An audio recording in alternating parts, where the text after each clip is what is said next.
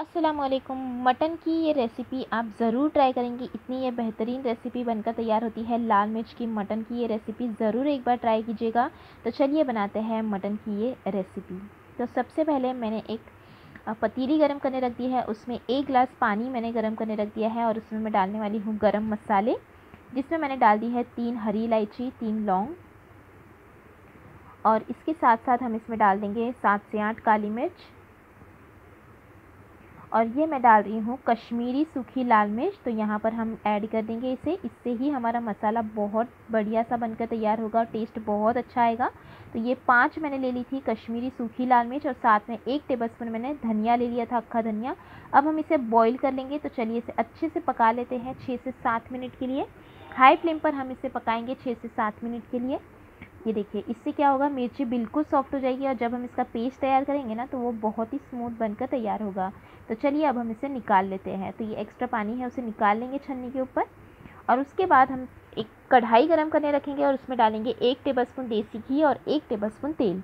उसके बाद हम इसमें गरम मसाले ऐड कर देंगे, जिसमें तेज़पत्ता, दालचीनी और साथ ही साथ ये मैंने ले लिया है धनिया, सौंफ, ज़ीरा सूखी लाल मिर्च भी मैंने इसमें ऐड कर है। सारी इंग्रेडिएंट्स की आपको लिस्ट डिस्क्रिप्शन बॉक्स में मिल जाएगी। इसे हम कुछ देर तेल में इस तरह से देखिए सौते कर लेंगे ताकि उसका फ्लेवर रिलीज़ हो जाए। उसके बाद हम इसमें डालेंगे दो मीडियम साइज़ की प्याज कटी हुई। प्याज डालने के बाद हम इसे बहुत अच्छे से भून लेंगे हाई फ्लेम पर। और साथ ही साथ हम इसमें डालेंगे चार कली लहसुन की बारीक कटी हुई। मिला देंगे हम उसे भी। और ये देखिए प्याज पे भी ये गलना शुरू हो गई है। कलर आ जाएगा। तो तब हम इसमें ऐड कर देंगे मटन। तो यहाँ पर मैंने ले लिया है 400 ग्राम मटन, जिसे अच्छे से साफ़ करके वॉश कर लिया है। वो मटन हम इसमें डाल देंगे। और मटन के बाद हम यहाँ पर बहुत अच्छे से चार से पाँच मिनट के लिए मटन को भी भूनेंगे। प्याज हमें एकदम देखिए इस तरह से सॉफ्ट ही करना है कलर नहीं देना है प्याज के ऊपर। और उसके बाद मटन डालकर हमें इसे भुनना है पाँच मिनट के लिए। इस तरह से पानी रिलीज़ होगा, वो पानी हम पूरा ड्राई कर लेंगे। ये देखिए, अभी हल्का हल्का ही पानी है तो मैं इसमें डाल दूँगी दो टीस्पून अदरक लहसुन का पेस्ट, नमक स्वाद अनुसार, और इसे हम फिर से मिलाते हुए भून लेते हैं, चलिए। देखिए, बहुत ही अच्छे से ये मसाला जो है, वो भुना जाएगा, इससे कच्ची महक अदरक लहसुन की चली जाएगी। तो इसे अब मैं ढककर रख दूँगी लगभग पंद्रह मिनट के लिए बिल्कुल लो फ्लेम पर, ताकि मटन सॉफ्ट हो जाए। और तब तक हम हमारे ये जो हमने ग्राइ उबाल लिया था सारा मसाला, उसे मैंने देखिए इस तरह से पीस लिया है। ये देखिए, इस तरह से जो इसका पेस्ट बनकर तैयार होगा ना, इससे बहुत अच्छा टेस्ट आएगा। उसके बाद हम देखेंगे तो ये हो चुके हैं पंद्रह से बीस मिनट। तो इसे चलिए फिर से थोड़ा सा भून लेते हैं। और जैसे आप देख सकते हैं, तेल रिलीज़ हो गया है तो जो हमने मसाला पीस लिया था, वो मसाला हम इसमें डाल देंगे। बाकी आपको और कोई भी मसाले नहीं डालने हैं, बस इसी मसाले से बहुत अच्छा टेस्ट आने वाला है। तो ये हमने मिक्स कर दिया। अब मैं इसमें डाल दूँगी जो हमने पानी बॉईल किया था ना, वो पानी मैंने साइड में रख दिया था तो वो पानी, वो ही पानी हमें इसमें डालना है। मिक्स करेंगे। अभी क्योंकि मटन हमारा पूरी तरीके से गला नहीं है तो अब ये मटन भी अच्छे से गल जाएगा। तो फिर से हम इसे ढककर रख देंगे पंद्रह मिनट के लिए, ताकि मटन अच्छे से सॉफ्ट हो जाए। और ये हो चुके हैं पंद्रह से बीस मिनट जैसे आप देख सकते हैं। मीडियम टू लो फ्लेम पर मैंने रखा था।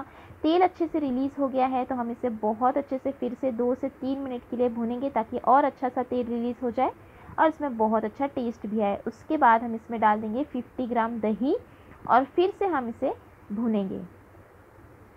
क्योंकि दही का भी हमें पानी ड्राई करना है तो चलिए दही का पानी भी हम ड्राई कर लेते हैं और इसे फिर से रख देते हैं पाँच मिनट के लिए और पाँच मिनट बाद आप देखेंगे मीडियम फ्लेम पर मैंने रखा था। अब दही का पूरा पानी जो है वो ड्राई हो गया है और ये देखिए मसाला कितना बेहतरीन सा बनकर ये तैयार हुआ है। तेल अच्छे से रिलीज़ हो गया है तो चलिए अब हम इसमें डाल देते हैं कटा धनिया। मिक्स कर लेते हैं।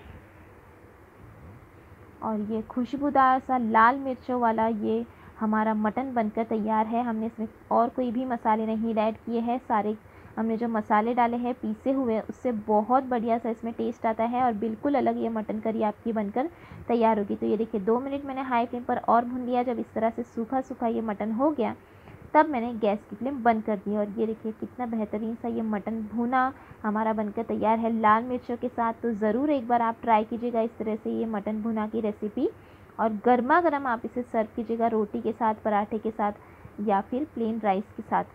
तो ये हमने गर्मा गर्म इसे कर लिया है सर्व। देखिए मसाला कितना बेहतरीन सा ये बनकर तैयार हुआ है गार्निश कर लिया है मैंने हरे धनिए के साथ। आपको ये मटन की रेसिपी कैसी लगी मुझे ज़रूर बताइएगा। अच्छी लगी तो लाइक और शेयर करना बिल्कुल मत भूलिएगा और चैनल को भी ज़रूर सब्सक्राइब कीजिएगा ऐसी ही रेसिपीज़ के लिए। Thanks for watching have a good day